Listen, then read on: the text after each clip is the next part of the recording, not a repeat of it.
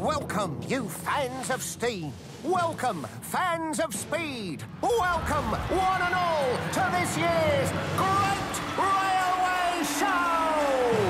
Only here can you witness the mightiest locomotives from all over the world, competing in feats of strength, speed, and skill.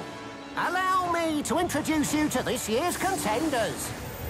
And here is Ivan of Russia. Let's have a look at his stats, shall we? This diesel engine is very strong. Some viewers may remember when Ivan finished just seconds away from setting a new world record in the shunting race.